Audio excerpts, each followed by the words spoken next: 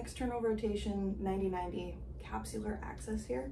So we're going to be doing a really, really deep stretch for the capsule of this front hip.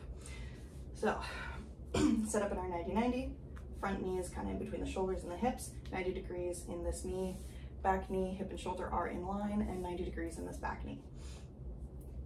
To get into our stretch, we're gonna think about bringing our belly button up and forward. We're gonna think about showing our tailbone to the people behind us or the wall behind us. And we're gonna think about driving the sit bone on this back leg towards the wall and away from this knee. So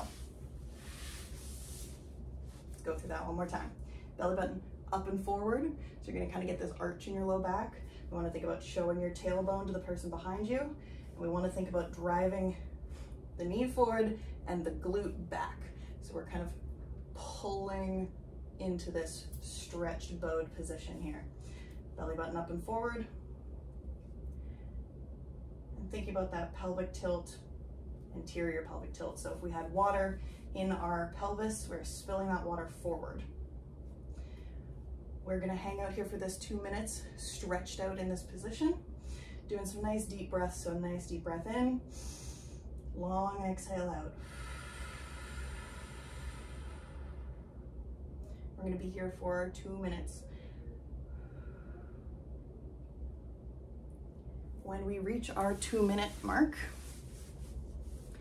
we're going to do our PAILs. So PAILs for this is going to be rotational because we're trying to access the capsule of our hip, our deepest tissue here. So in this stretched position, when you're stretching here, we wanna make sure that it's not more intense than a four out of 10.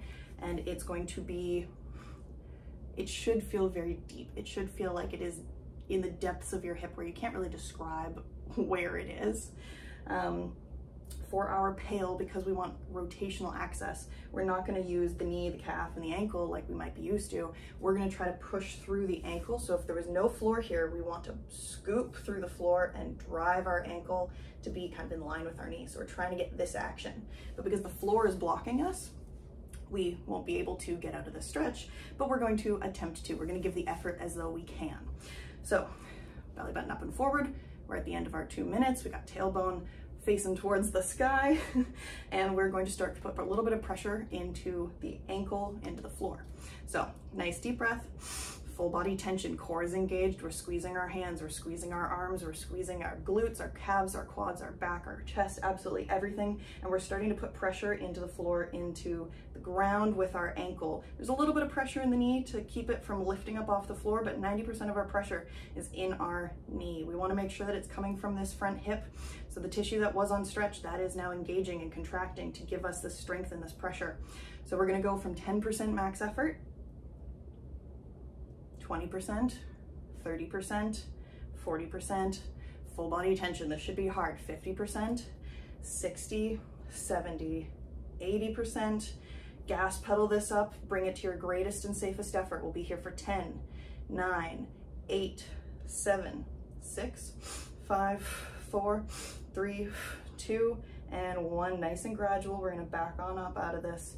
80, 70, 60, 50, 40, 30, 20, 10, until we're fully relaxed. We're gonna try to keep bringing our belly button up and forward, tailbone up and back. We wanna bring ourselves deeper into this stretch. We're gonna do another one.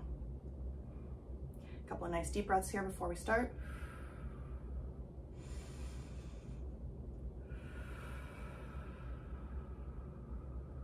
Okay, nice deep breath in. Trap that air in the core, create tension in your abdomen, let that tension spill out to the rest of your body. Squeeze your hands or the floor and start driving this foot down. 10%, 20% of your max effort, 30, 40, 50, 60, 70, 80. Bring it up, greatest and safest effort, hardest you can push safely. Go, go, go, go, go. We've got 10, 9, 8, 7. When we get down to one, we're gonna slowly gas pedal off. Three, two, one, nice and slow, bring this back out, control that descent, relaxing both the leg, the pressure, and the torso, arms, whole body tension all at the same time, bringing it all the way back down to 0%. Make sure we stay in this stretch. A couple of nice deep breaths here.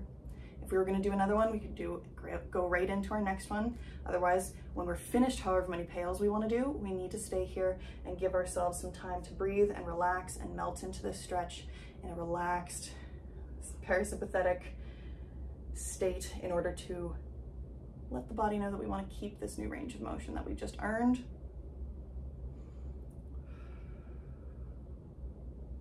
And you can even see the difference from when I started to where I am now. And nice and gently, we'll walk ourselves up